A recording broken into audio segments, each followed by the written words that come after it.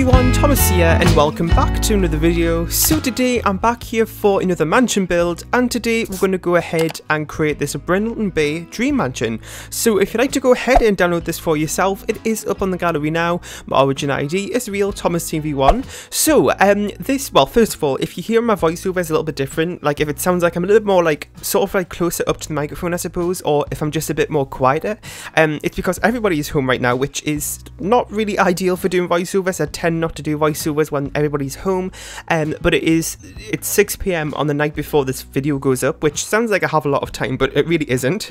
anyway, I'll talk about that more in a second. Uh, so it came in at 498,146 simoleons. It has seven bathrooms, and I built it on the 64 by 64 lot in Brindleton Bay and it took me about an hour and 50 minutes to do this. So this idea is, it's just like another sort of suburban family home style, um, and the dream, I have like a few builds that I've done with the word dream in it, and basically all that means is sort of like a, um, not really like an upper class sort of home. It's more of just something that your Sims would like to work towards and something that would be, you know, like a lot of work would pay off to get. Um, so that's sort of like what I do between with these homes. Um, and it's got like quite a few things in it actually. So it's got the um, like a pool and you know the regular stuff. But I also instead of just doing a regular guest house, and what I normally do with the guest houses is that it's basically just another room, like an exterior, room, like just another building on the lot.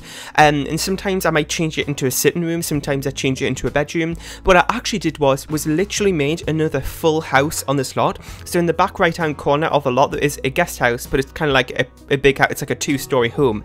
Um, so that could be really, really great for like multi-generational families or anything. So you could use that for there. It has its own kitchen and dining room, it has its own bedroom, living room and uh, bathroom as well, so that'd be great. And you can see this room right here as well, which is the garage. And like normal, I did go ahead and change this into a uh, gym, so which is kind of, you know, just something that I do a lot with um, my homes is change the garage into a gym because it's more of like a practical use of the space. And then if I'm doing the, like the garage like attached to the home, then sometimes I kind of make it into a laundry room as well and kind of divide it off too. Um, so I do that sometimes. Um, and yeah, so we're all actually getting in. Well, I mean, there's some people who went to Sims Camp have been like hyping up this thing about a new feature coming in the next update, or I don't know if it's the next update, but soon.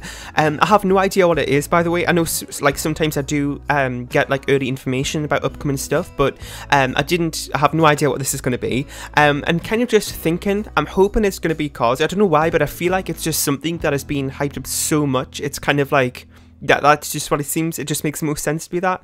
Uh, but if it's not, I'm hoping it's going to be something like Create a World. But then again, I'm not really too sure because, you know, with um, Del Sol Valley and the reasoning behind why it's such a small world. I feel like Create a World kind of just goes against that whole thing, so I'm not too sure, but I'm hoping it's one of those two. That would be great. And um, because with Create a World, hopefully that means I can make bigger than 64 by 64s because, you know me, I love to do mansions, so that would be great for me.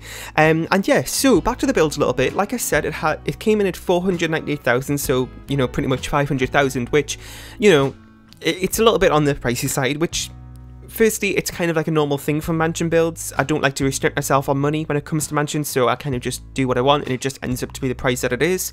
With this home, you know, I suppose it kind of goes along nicely with the theme of it being a dream home, so, you know, you're going to have to do loads of work to afford this, I suppose. So, you know, I suppose it kind of goes with that. So maybe not the most practical thing to kind of get without cheats, but you know what, it's alright. anyway, so another really exciting thing happened this week. Um, you may have seen it on The Sims' Twitter and Instagram. Well, first of all, I was actually featured on the uh, Sims' October Builds of the Month. So if you don't know, the Sims team pick, um, I think it's about five different builds each month from creators, um, not just game changers, just, you know, everybody. Um, and I was actually lucky enough to get chosen um, this month, which is was crazy. I'm, it still kind of shocked me, really. Um, it was actually on the opposite town Homes build, which was I actually did back in like June or July. I think what yeah I think it was either June or July. So I don't know why it was featured now but I'm not complaining because I'm really really happy about that. Um, and then the other day I actually got my own kind of like um, post made by the Sims team for that build like on its own which was crazy. Um, so I got like a Twitter post and an Instagram post um, and also on the Sims Spanish um, Twitter account, I think it was, or the French one, I can't remember. Um, but they also did that there too, which was amazing. So that's been really exciting this week. Um, and i've had a lot of like really nice messages and everything about that from new people discovering my channel.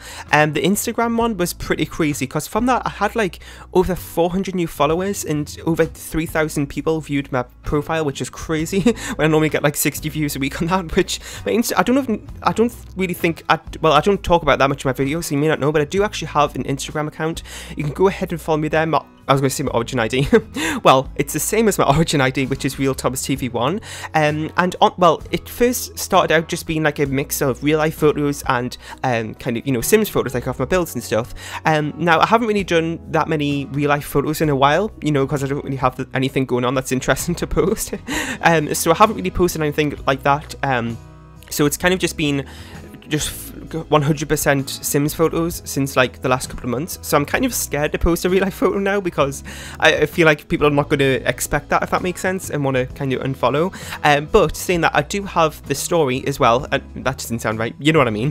the story feature um, where I kind of well not as much recently, but I do post a lot there on both with new videos that come out I make a post on my story about that, and also um, any kind of real life things that maybe isn't you know that great to make a full post about. I sometimes just post on my story there too. So if you want to see some more kind of things that I do out of these videos, then that's also a good thing to check out.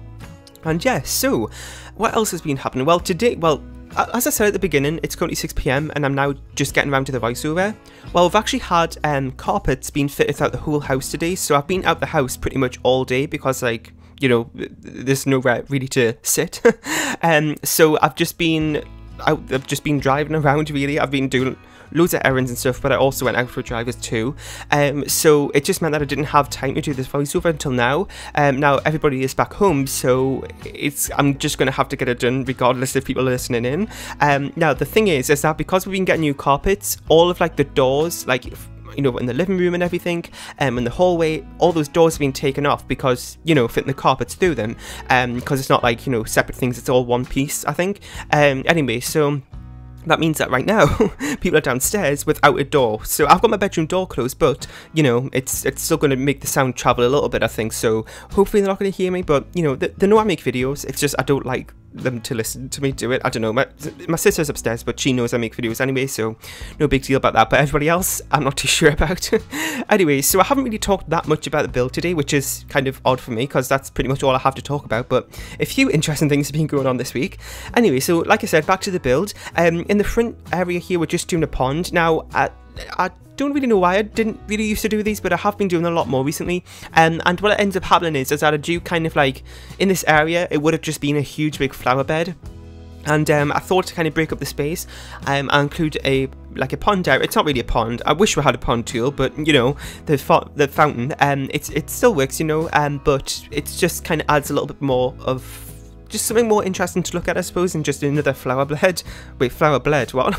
flower bed, there we go. Um, and I do that quite a lot in my builds now recently. It's kind of just a nice thing, because I, have noticed that I did used to make like pretty big flower beds, but um, now I've kind of learned from comments about that, because I know a lot of people pick up on that I'm not the only one as well, because I watch a lot of speed builders, well, builders, um, and I hear them say that same thing, where people pick up on the, the fact that flower beds sometimes get too big, um, and I, I would, it's funny that people kind of pick up on that. That's not something I would have you know noticed in somebody's speed build but um since it is i have been trying to kind of you know reduce the amount of that and kind of just leave some more grass spaces so you'll see a few more of these in the um this build um and what i actually did was is you'll see like like on the outside part of the fence, if that makes sense, like the best way to look at it is at the back of the lot. You can see there's still quite a bit of land outside of the fence, if that makes sense.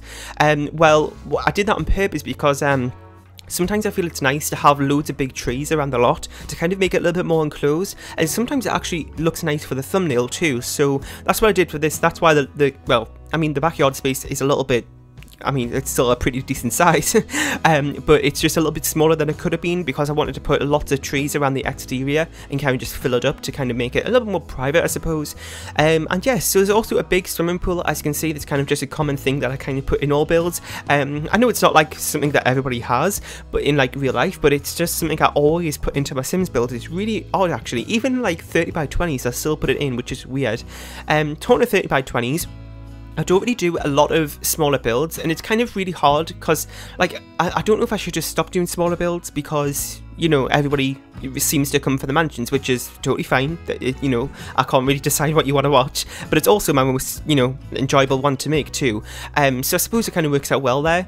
Um, but you know, I do get comments every now and again when I do smaller builds of people asking to do a few more of those. So it's kind of like, well, what do I do? Um, do I kind of, you know, spend time doing that, or do I put more energy into do mansion builds, which more people want to see? So it's kind of a really big dilemma. Um, and then sometimes what happens is when I upload a smaller build, you know, the um, views are much lower and it kind of I know it shouldn't affect me but I've got to also think about what you want to see too. Um, so I feel like I should just stick to that and then I'd start getting comments about people want to see smaller builds so just a big mess. Um, but I'll probably you know do them on an occasion. Talking about that as well um, my Fix Me Thomas TV renovation series which you know is normally every Saturday where you can go ahead and submit rundown lots on the gallery for me to renovate each week. Well that series um, I know it's been kind of like well a few weeks have been missing here and there and um, it's just really because it's well i'm not enjoying it as much as i used to and i don't really know well i do know why actually. It's because these videos take and like it's really hot like it doesn't really seem like it would take a long time to make but they take honestly sometimes longer than a mansion build which is crazy. Even if it's on a small lot because there's a lot more that goes into those type of videos. Um so it's kind of like well the, kind of thing that oh my god, I really don't know how to explain this. well, the thing is, I'll just kind of put it short. Um, I'm not. I'm thinking about stopping the series, or maybe just kind of reducing how many episodes are over the weeks. I don't know. Um, I'm just gonna kind of do it when I want to, really. Um, and also I don't really have as many submissions uh, recently been receiving them, so I don't really think the series is gonna last for that long anyway. If I don't have any more lots to renovate, but you know, not just because of that though. It's just that it's also something that I don't uh, enjoy as much as mansion builds, for example. So.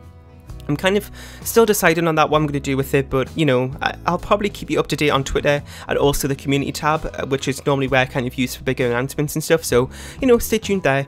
And yeah, so um, we're just working on one of the bathrooms here, as you can see. Now, I see this pretty much all the time, but I don't tend to include bathrooms in the speed build video because one, they're exactly the same throughout the entire build, and two, it's the same type of bathroom style that I have for all my builds because you know, it's sort of like a, a boring room in a way. It's sometimes hard to think of unique things to do for a bathroom each, um, you know, every single time.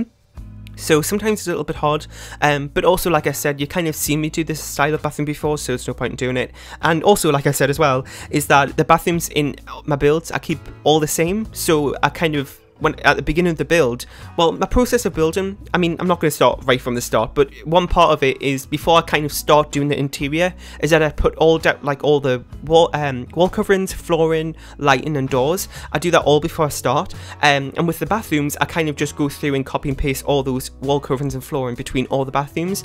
Um, it's not a shortcut way. It's not something to kind of make things easier for me. Um, I mean, I suppose partly it is, but the reason I do that is I feel like it's a little bit more realistic because I mean at least in my house all the bathrooms have the same you know furnishing and stuff. So it just makes it a little bit more realistic I think. So that's what I tend to do in Sims builds as well.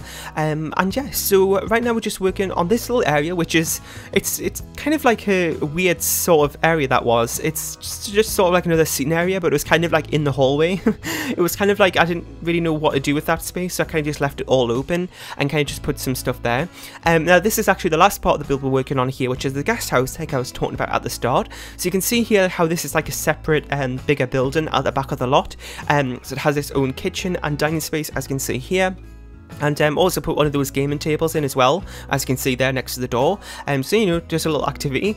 And then we've also got kind of like a I mean I suppose this dining table was maybe a little bit too big for this considering it's only a guest house but you know what? It's alright um, maybe they have guests over themselves too who live here. Um, and also there wasn't really room for a bar so I just put one of those little ones from Vintage Glamour which I always forget about for some reason. I don't really know why. Um, so I went ahead and put one of those in there is a bigger bar, I believe, in the main part of the house in the dining room. I can't exactly remember, but I think there is. Um, and yeah, so we're just working on the upstairs of this. Now, there wasn't really room to make in like a separate living room and bedroom, so I just put it into one space. Now, it's only a guest house, so I imagine there's only going to be one or two Sims um, that live here. So I suppose having an open plan area wasn't too much of a bad idea. Um, and you know, it's not going to really be somewhere that your Sims are going to use that much anyway. I don't think, because we don't really have that sort of functionality in game to make this really, really practical. Uh, but you know, you can change it maybe if you have like a grandparents living in the house, or maybe a teen or young adult that's maybe getting ready to move out but doesn't want to do so quite yet, and maybe that could be a space for them. And yeah, so I'm going to go ahead and wrap this voiceover up here. Really hope you enjoyed. In the comment section down below, let me know about what you thought of this build. Let me know if you have any more suggestions for mansion builds or speed builds that you want to see in the future, as that'd be really, really helpful. Leave a like, share, and subscribe if you haven't, and I'll see you all next time. Bye!